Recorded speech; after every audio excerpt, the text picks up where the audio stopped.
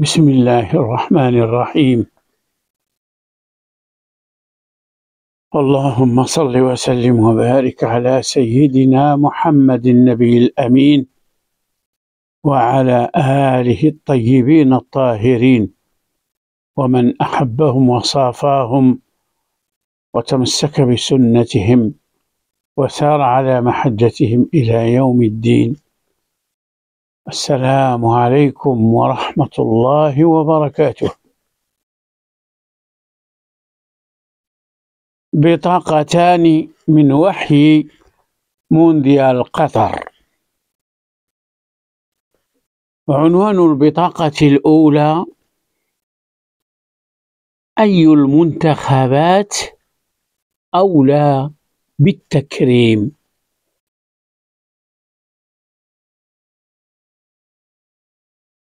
اليوم أربع وعشرون ساعة في العالم أجمع. ويجب أن تقسم هذه الأربع والعشرين ساعة. يجب أن تقسم بعدل بين الأعمال والنوم. والأكل والنظافة والرياضة والصلاة والاستراحة مع شيء من التسلية البريئة. والمقصود بالعدل في تقسيم اليوم على هذه الأمور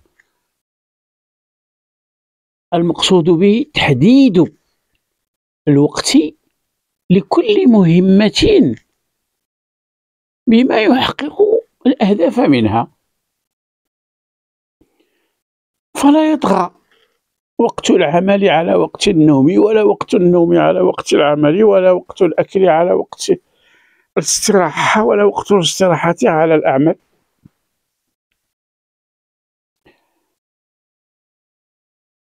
بالنظر إلى الواقع إذا نظرنا إلى الواقع المعيش نجد أن 24 ساعة مقسومة بين الأعمال. الأعمال كالتعليم والزراعة والصناعة والتجارة والصيد البحري والغابات وتربية المواشي والإعلام والأمن والدفاع والإدارة والرياضة إلى آخره. هذا من جهة. والاستراحة. والتسلية من جهة ثانية. هناك قسمان هناك أعمال وهناك استراحة وتسلية.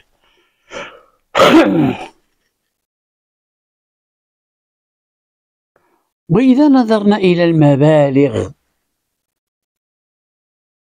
الخيالية المالية المبالغ المالية الخيالية التي يتقاضاها لاعب كرة القدم.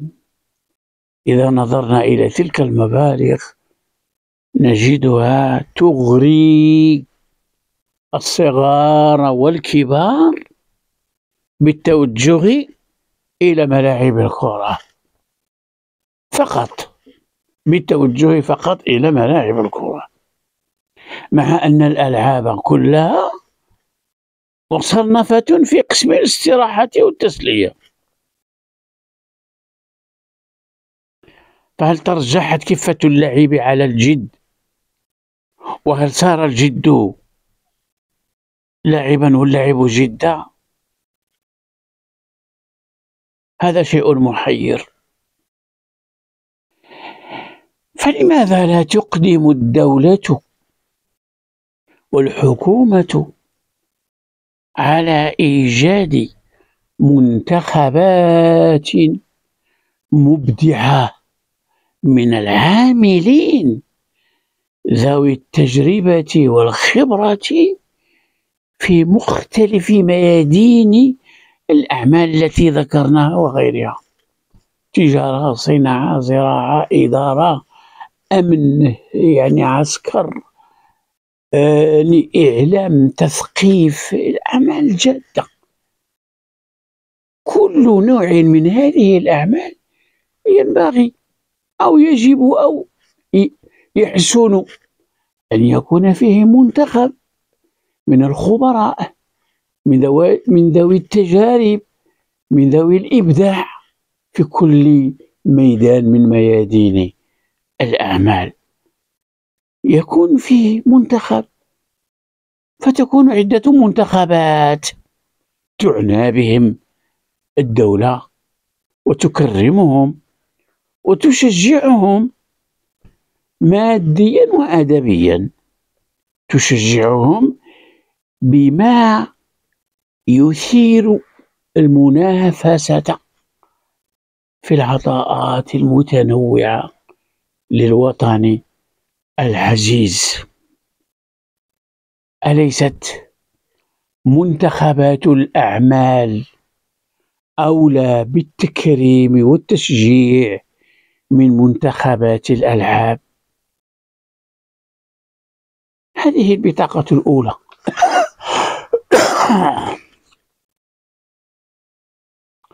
البطاقة الثانية عنوانها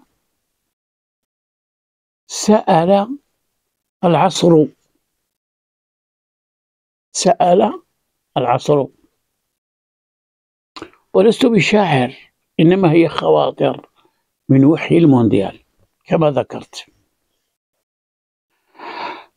ظن القوم العرب أن الخصم انغلبوا تعال هنا أي عند العرب. تعال هنا نغم. توالى هناك أي عند الغرب. توالى هناك الشغب. تعال هنا نغم. توالى هناك الشغب غضب لذاك العجم. التهبت بذاك نغب. أي حسرات وأحزان وهموم. هل طلع البدر لأناس أدبروا غربوا يعني العرب المسلمين. هل طلع البدر لأناس أدبروا غربوا؟ لا كون لنا غدا. ذا منطق العجم. لا كون لنا غدا إذا ما اصطلح العرب. لا كون لنا غدا إذا ما اصطلح العرب. لقد هتف الحقد. إن هذا شيء أعجب. نشر الكذب. نشب الرهب. كأن قد نهب سكت الفرح. شتمونا نطقا وبما كتبوا. رسم السلم حبك الغنم تدانت كرب. بان لنا الغدر لنا. بان لنا الغدر. حيثما داروا وأن انقلبوا. سئل الكأس أسابيلك دولي أم أنت غرب؟ أشار لسان الحال إلى الروم إذا هم هبوا أفصح المكر. سأل العصر. أفصح المكر. سأل العصر متى يصدق العرب؟ متى يصدق العرب؟ والسلام عليكم ورحمة الله.